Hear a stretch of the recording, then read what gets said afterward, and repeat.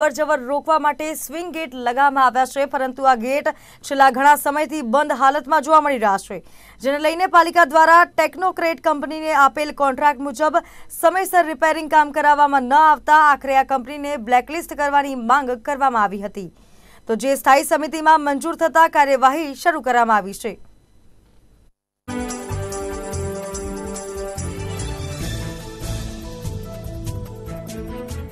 સુરત મહાનગરપાલિકા દ્વારા જે બીઆરટીએસ રોડ બનાવવામાં આવ્યો છે ત્યાં ખાનગી વાહનોની સતત અવર જવરના કારણે મુંબઈની એક કંપનીને કોન્ટ્રાક્ટ આપવામાં આવ્યો હતો. તમને સીધા દ્રશ્યો બતાવી કે સુરતના આ બીઆરટીએસ જે રૂટ છે, તેમાં એક સ્વિંગ ગેટ બેહાડવામાં બેસાડવામાં આવ્યો છે. આપ જોઈ શકો છો કે આ સ્વિંગ ગેટ છે, જે સ્વિંગ ગેટ બસો ને જેટલા સમગ્ર સુરત શહેરમાં સ્વિંગ ગેટ લગાવવામાં આવ્યા છે. જેની કિંમત લાખોમાં આંકી શકાય, પરંતુ છેલ્લા ઘણા સમયથી આ જે સ્વિંગ ગેટ છે, તે તે બંધ હાલતમાં પડ્યા છે. વારંવાર આ બાબતે રજ- જે કંપની છે તેમને નોટિસ આપવામાં આવી છે, કારણ કે મુંબઈની જે technocrat security system private limited નામની જે કંપની છે, કંપનીને આ કોન્ટ્રાક્ટ આપવામાં આવ્યો હતો અને ત્રણ તબક્કામાં આ કોન્ટ્રાક્ટ આપવામાં આવ્યો હતો, જેમાં સુરત શહેરના માર્ગો પર બીઆરટીએસ જે રૂટ છે, તેમાં બસો ને છોતેર નંગ સ્વિંગ ગેટ બેસાડવામાં આવ્યા છે, કારણ કે બીઆરટીએસ બસ જ્યારે પસાર થાય તે દરમિયાન આ સ્વિંગ ગેટ ખુલી જતો હોય છે અને ત્યારબાદ બંધ થઈ જતો હોય છે. એટલે કે ખાનગી જે વાહનો છે તે પ્રવેશ ન કરી શકે, પરંતુ તેને મેન્ટેનન્સને લઈને વારંવાર આ કંપનીને કોન્ટ્રાક્ટને જે નોટિસ આપવામાં આવી છે, પરંતુ હજુ સુધી આ જે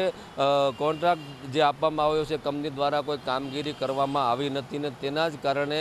અવારનવાર નોટિસ આપ્યા બાદ પણ કામગીરી ન કરતા આખરે આ સ્વિંગ ગેટની હાલત તમે જોઈ શકો છો કે આ તમામ ગેટો જે છે તે બંધ હાલતમાં પડ્યા છે અને તેના જ કારણે હવે આ જે કંપની છે તેને બ્લેકલિસ્ટ કરવાની માંગ કરવામાં આવી છે. સુરત મહાનગરપાલિકાની સ્ટેન્ડિંગ કમિટીમાં જ જે દરખાસ્ત મૂકવામાં આવી છે, કારણ કે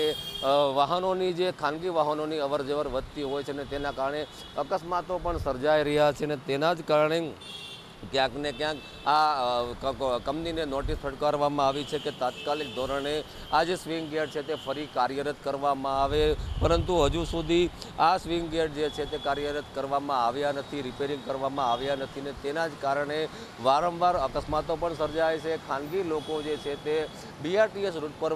ક્યાંક ને ક્યાંક વાહનોની અવરજવર કરતા હોય છે. તેમાં અકસ્માતો સર્જાતા હોય છે જેની નોંધ સુરત મહાનગરપાલિકા દ્વારા લેવામાં આવી છે અને આખરે આ જે કંપની છે તેને બ્લેકલિસ્ટ કરવાની માંગ કરવામાં આવી છે જોકે સ્થાયી સમિતિની અંદર આ દરખાસ્ત મૂકવામાં આવી છે અને આ કંપનીને બ્લેકલિસ્ટ કરવામાં આવશે અને અન્ય કંપનીને આ કોન્ટ્રાક્ટ સોંપવામાં આવશે તેવી સૂચન ક્યાંક ને ક્યાંક કરવામાં આવ્યા હતા. જોકે જલ્દીમાં જલ્દી આ સ્વિંગ ગેટ શરૂ થાય અને લાખોનો કરોડોનો જે ખર્ચો કરવામાં આવે છે તે ખર્ચો ક્યાંક ને ક્યાંક એળે ન જાય, તે માટે સુરત મહાનગરપાલિકા દ્વારા ક્યાંક ને ક્યાંક કાર્યવાહી કરવામાં આવી રહી છે. કેમેરામેન હિરેન નિમાવા સાથે તે ચિત્રોડા સુરત.